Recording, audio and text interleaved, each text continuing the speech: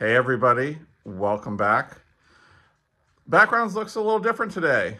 I'm sitting here at the table on the other side of the table and behind me we have the centerpiece that's done for Valentine's Day. If you watched my first vlog video, you saw me working on this.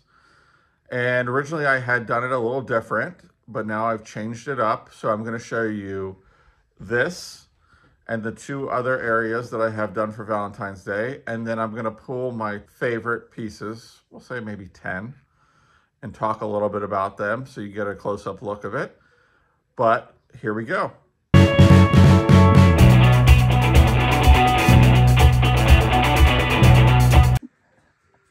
So we're starting with the table here. And as you can see, the centerpiece consists of a lot of white milk glass swung vases and I put them on top of this beautiful red tablecloth with, with the right, excuse me, white roses. I had used originally a white tablecloth with red roses, but I felt this was much more Valentine's-like. And of course, everything is sitting on top of this big silver tray that was Rosemary's. She had it in her basement in a wooden crate from England, so I pulled it out and I really liked it. So when it came to auction, I bought it. But we'll start up here. I utilized the vases. I decided that I was going to use these for more than just my Easter collection. I've used these for Easter for a couple years. This year I decided to utilize them for Valentine's Day and then I'm going to work it into St. Patrick's Day. Originally, when I set this up, I had some vine or excuse me, flocked velvet plastic roses from the 60s in there. And it was a lot of red. They weren't in the best of shape. So I ran down to Dollar Tree and picked up these carnations in pink, red, and white. And while I was down there, I was looking for something cool to figure out how to display these Valentines that you see here a little bit better. And I'll just grab this guy here pull him out. But they had these picks that are just, I guess, hors d'oeuvre picks with little hearts on them.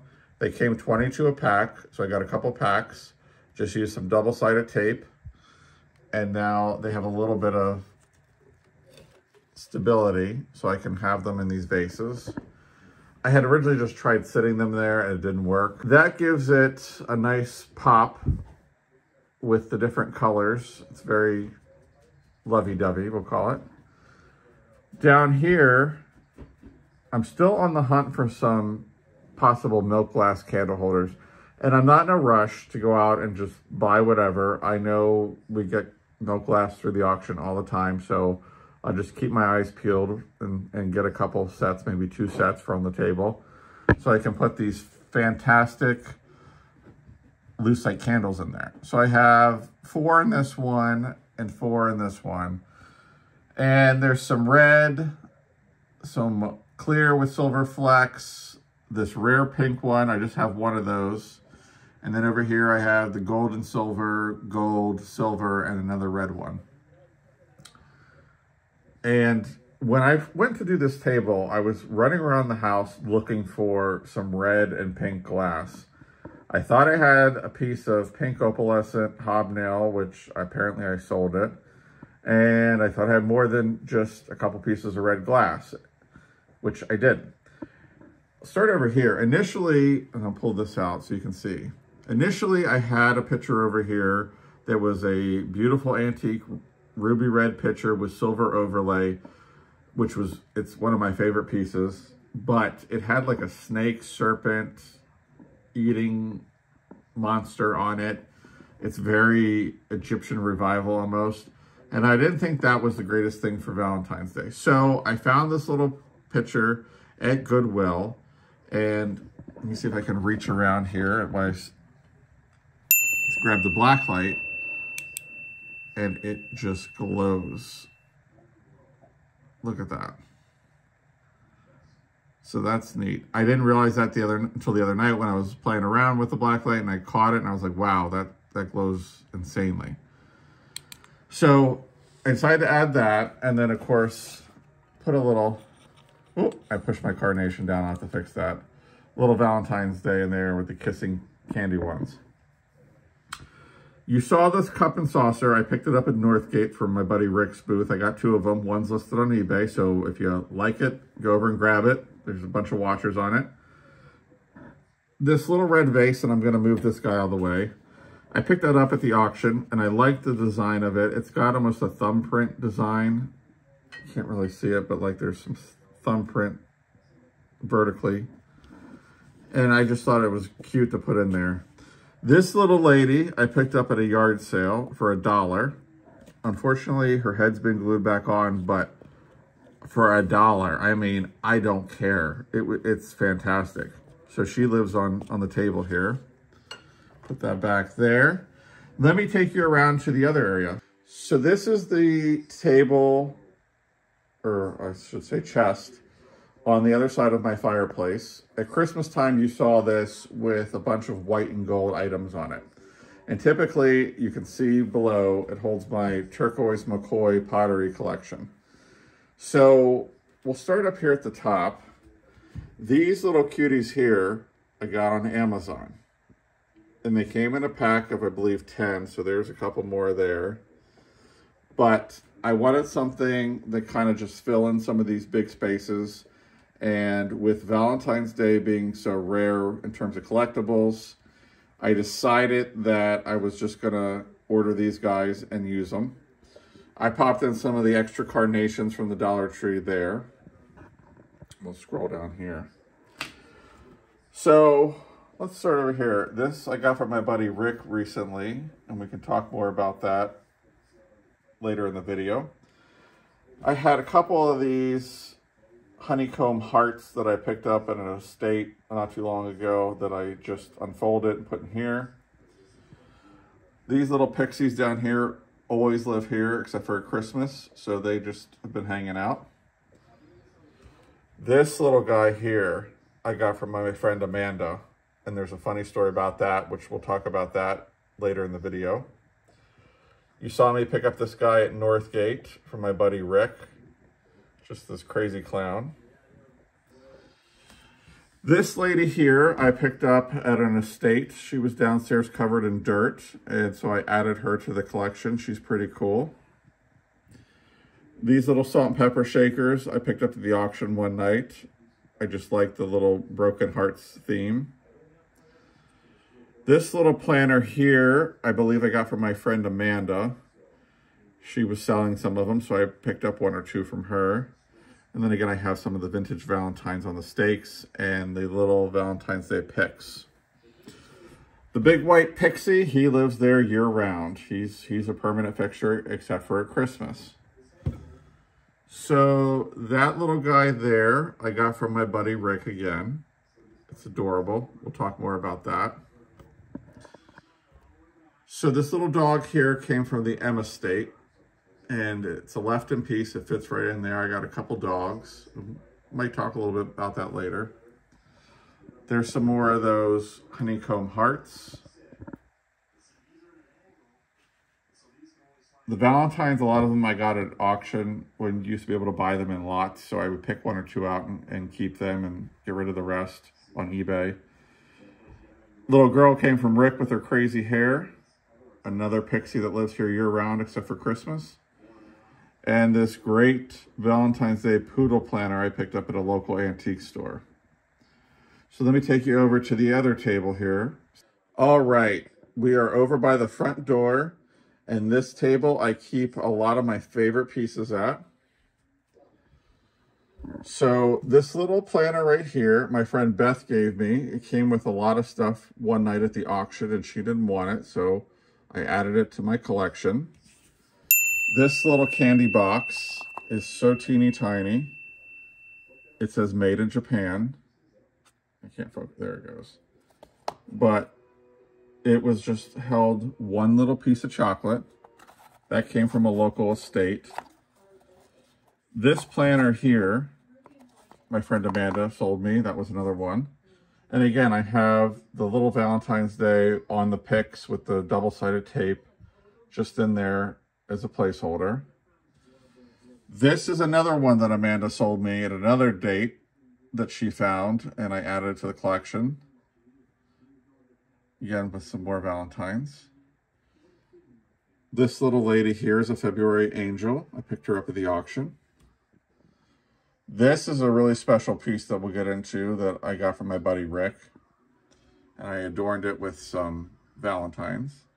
And then I just added some more carnations and Valentines into the to the bowls to give it some, or excuse me, into the glassware to give it some color. And then last but not least, this little cutie here that I picked up at an antique store for a couple bucks. And again, I got some vintage Valentine's Day cards and whatnot to, to display in that. So we'll sit down here and talk about some of these other pieces. Top 10 favorite Valentine's Day items that I have, which there's not a lot, so, but there are some really cool pieces. So I want to start off with this lady here. She doesn't have anything Valentine's Day related, but I love the mermaid. Eventually, she'll probably make her way into the mermaid bathroom if I ever amount enough Valentine's Day stuff to decorate in there. But I just love the, the expression on her face. She's she's been used, but she's very, very cool.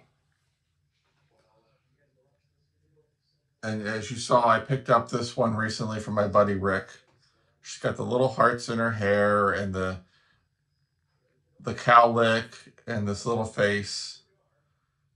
She's been loved, but I just love the expression on that face. She's amazing.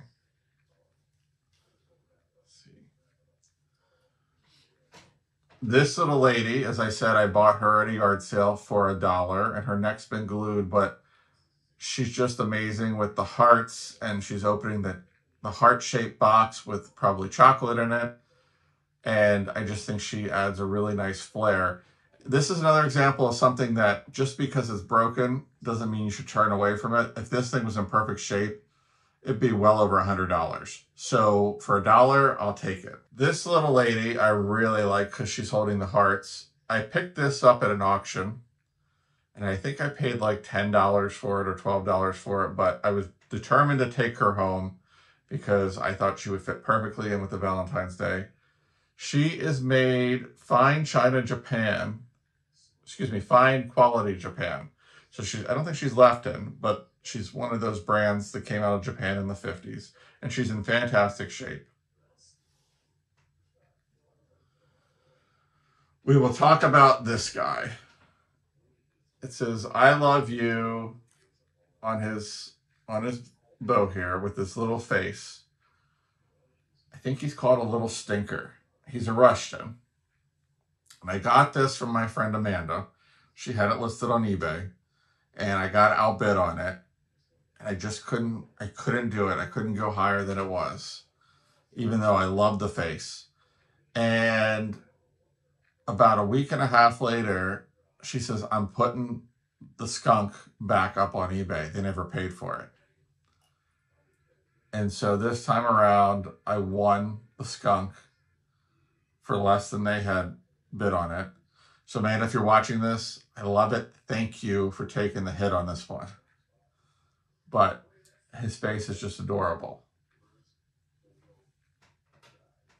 Let's see here this little guy says Valentine's greetings. It's a poodle. I bought this and now I actually see I still have the price tag on it. I know where I bought this. I bought this up in Bloomsburg in a little shop called Wilson and Ross that Ruth absolutely loves to go into. So whenever we're there, we have to stop by and check it out. And the lady is fantastic that owns it. But I bought this up there for $8. And that was probably maybe a year and a half ago. So very cute piece. He's just hanging out there, biting the Valentine. And again, cute little Valentines in there. This one I really love. I had seen these on eBay and I thought it was so cute with the little boy and girl kissing. This also came from Amanda. It's a Lefton. She had this listed on eBay and I was the high bidder on it she finds some fantastic stuff. So she's got a great eye and I love everything. I have a bunch of her boxes as you saw in my Christmas video. I have some for Halloween too, which we'll see when we get to Halloween, but this is a great piece.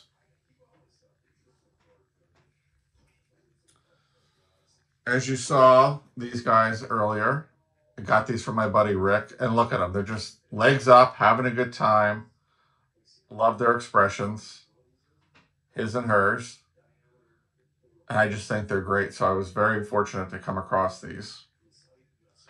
But now I'm going to show you my ultimate favorite piece. This is probably one of my favorite planners ever. And I got this from my buddy Rick. It is a Samson Imports Relpo. It's got a Relpo sticker on it and a Samson Imports imprint on it or writing on it. But this planner actually lights up. And I got to work on the plug. It does work. Um, I think it might be the light bulb. I have to play with it a little bit. But this lights up all red because there's a red bulb in there. And I just absolutely love it. I have not been able to find this on eBay. I did pay up for this. He had a very good price on it, but I still paid up for it. So this was one of my big splurges last year when I was like, oh, let me get something really cool for Valentine's Day. So Rick, if you got any more cool planners hanging out at home, I'm your guy. But I really, really love this piece and I'm glad to have it since it was my friend's.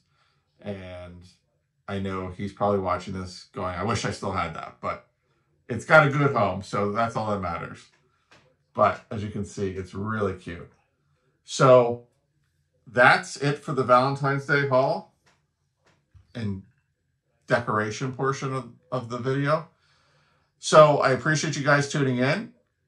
Please like, comment, and subscribe. The last one's a really big one. We really want to keep growing. So if you're not subscribed and you're watching this video and you like all the decorations, make sure you check out my Christmas ones. I'll have one for St. Patrick's Day. I'll have one for Halloween. I'll have one for Easter. So we'll keep adding to this. And like I said, we're coming out with a lot of new content. So make sure you subscribe so you know when, when we put something out. Thank you again for tuning in, and we'll see you on the next one.